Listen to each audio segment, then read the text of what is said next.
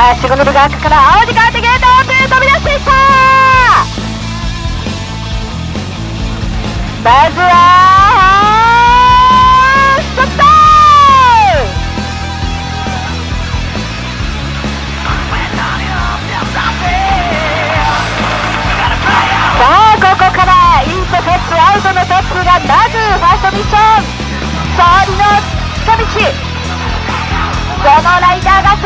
でしょうか？アウトから赤いマシンこれは生駒のマシンになるか？その後ろには諫早のマシンか？さあそしてインからもこれはバーンとツアウトからトップワンツーが早く攻めてファーストミッション飛び込んでいく。さあここからドラマはまた生まれるんでしょうか？堂々とまずはホールショットをつかみファーストミッションを飛び込んでいった世界一番生駒軍ヤマハウェーブランナーキーハイジャパンそれを追ってのセカンド艇は絶景87番の諫早はじめマリンメカニックそしてインから攻めていった中野貴弘が現在3番手さあここから新たなドラマが生まれるかトップの生駒を仕掛ける諫早どんな走りを見せてくれるかまずは生駒。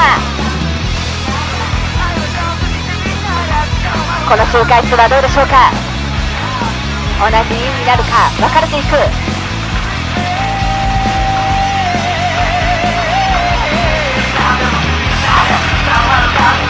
生駒と諫早がすでにトップの座を狙って戦いを見せていますがこの第6戦は生駒が先にトップに躍り出ました。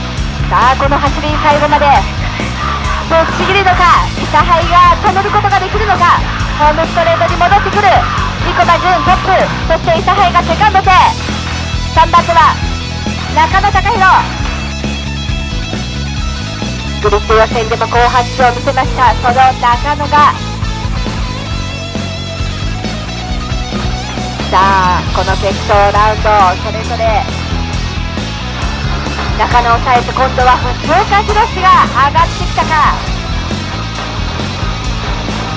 レースは3周目。まだまだ始まったばかりです。まずは左水面生駒潤が先に入っていく。それを持って諫早はじめ現在シリーズでは堂々の得点上位その諫早をこの第6戦は生駒潤が今押そうとトップに躍り出ています。共にアウトグリッドから飛び出していきました。そしてホールショット生駒潤がしっかりと踏み込んでファーストミッションを取り切っています。さあトップワンツーの距離は広がったか。現在5.63秒の差なんですがその生駒がホームストレートに戻ってくる。レースは4周目に入っていきます。それを追ってセカンド手87番諫早はじめマリンメカニック。トップワンツー。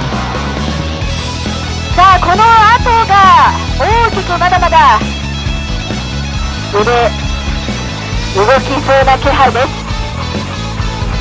藤岡、三上、船戸が続いている中さあホームストレートには3番手が戻ってきました。5番の藤岡弘が現在3番手。さあ今度は藤岡に続いて75番の船戸弘がランクアップ。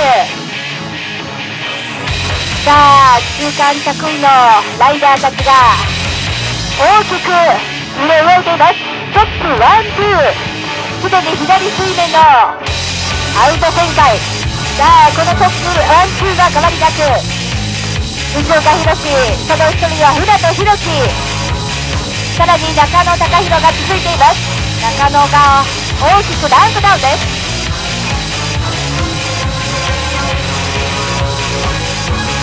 さあ18番コーナーを回って生駒が先に帰ってくる。その2人の差が6.16と距離は広がっています。さらにこれは距離を広げているか。セカンド勢として今日が追う立場となった87番の諫早はじめマリンメカニック。ぶっちぎりの走りをここでは見せている。厳しい戦いもこのシリーズは続いているリコマジュンマシントラブルに出会わされました。そんな中この第6戦はタイからチャンピオンのしっかりと影響を受けてしっかりと日本でも大活躍。生駒潤がこの第6戦は堂々と制して今トップ正解。左水面に生駒潤が向かってアウトコースに入っていった。さあ今日は追う立場となっている諫早のマシンですがその諫早は分かれてインコースか。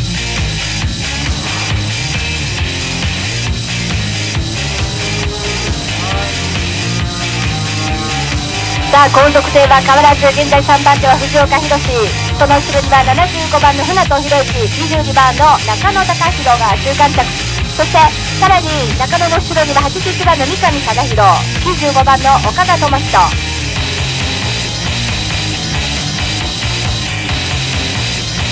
レースは現在5周目。残り4周の中すでに生駒はホームストレートに戻ってきています。そして以降が順は6周目に入りました。現在トップワンツー6秒弱差。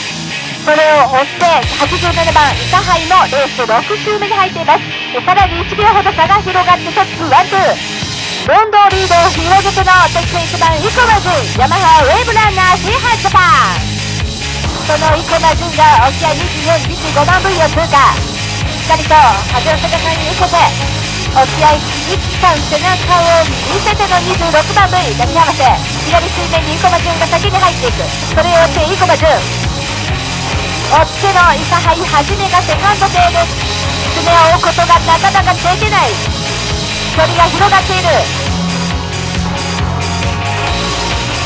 さあそれぞれのライダーたちの距離が広がってきました。それぞれのポジションが固まってきているこのプロランナバウトスーパーリミテッド。第6戦のガマゴールです。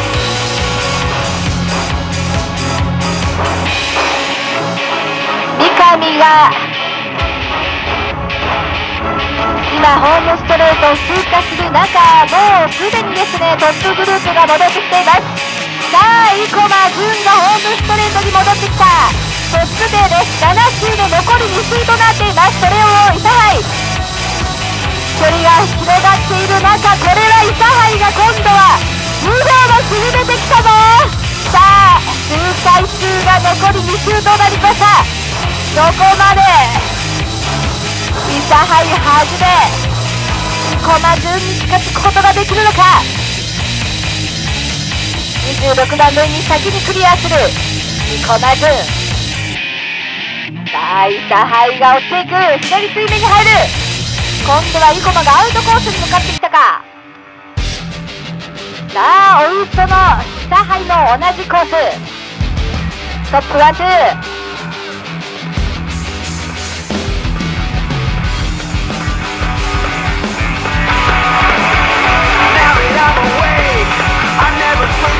さあこの第6戦は許すことなく生駒順が最後まで。最高の走を見せている中目の前には周回遅れのライダーがいますがさあ今度はその引き波に合うことになりますその隙にイタハイが距離を縮めてきた。さあいよいよここからライストイッシュを迎えます。生駒潤が18番コーナーを回る。イレーザー V 通過しての周回遅れ道を譲る。さあイタハイがもう一つをかけていく。いよいよ第6戦を制するのはどっちのライダーとなるんでしょうか？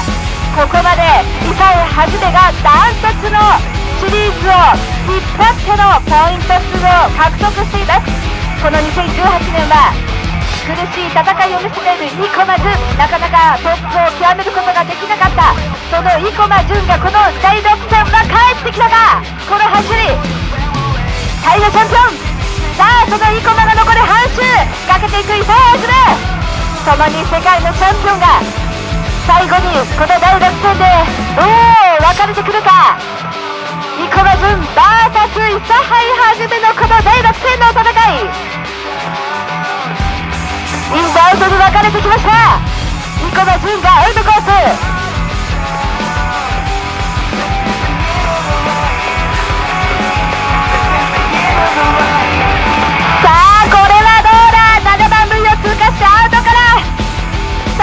クリア15番目これはなんとかトップをこのままゴールで迎えることができホール2ウィンは第6戦だセケナンバー1番の生駒純ヤマハウェブラジシハジャバンさあそしてはい、では生駒選手優勝おめでとうございます。はい、ありがとうございます。えっ、ー、とレースを振り返りたいんですけども、まずスタートこれはあのー最大のライバルの伊佐さんが隣でしたけどもグリッド。これはどうですか？隣同士意識しました？そうですね、まあ、お互いどっちがどっちも多分隣に行きますね。はい。でスタートはどうでした？ご自身。はい。諫早さんはやっぱりスーパーチャージャーなんで、もうポンって出るんで、もうちょっとだいぶ前に行かれて、いや、これは追いつかないかなと思ったんですけど、思いのほかトップが伸びて、こう、いけたんで、ということはホールショットは？ホールショットは自分が取りました。途中まではもう全然諫早さんが前だったんでいやこれはやばいなと思ってで諫早さんももう V に向かって曲がってきてたんでもう無理やり V より左側からこう抜いてたような感じですよね。なるほど。どうですか？じゃあ合流結果的にはトップだったでしたけども、はえっ、とアウトですからインは気になりましたか？い、インはき見え気にならなかったねじゃあだいぶ離して入ったっていうこそうですねはとで、まあ序盤からねかなり大きなアドバンテージを持ちつつのレースだったんですけども、どんなことを考えながら？いやっぱり後ろが諫早さんなんでもうちょっとでも気抜くとすごい詰まってくるんでもうやっぱ気は抜けないですよね。常にプレッシャーかけられてる感じです、はい。どうですか？マシンの不安っていうのは？全くないですね、今回はすごく乗りやすかったですし、すごいあの調子良かったんで、自分がミスしない限りは抜かれることはないなと思ったんですけど、結構波があったんで、ちょっと失敗するとその分詰まってくるんで、気は全然抜けなかったですね。まあ終わってみればね会心のレースだと思うんですけども先月の雪辱を果たしたんじゃないですか。そうですね、本当は先月こうなるはずだったんですけど、はい、でも今回こうできてよかったです。はい、これ今回レース点数つけるとしたら100点満点。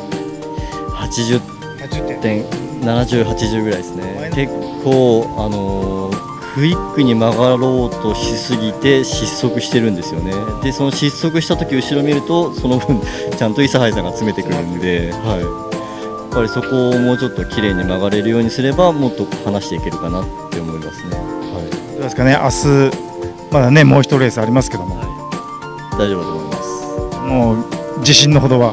100%ですね。はい、大丈夫です。わかりました、はい。おめでとうございました、はい、ありがとうございます。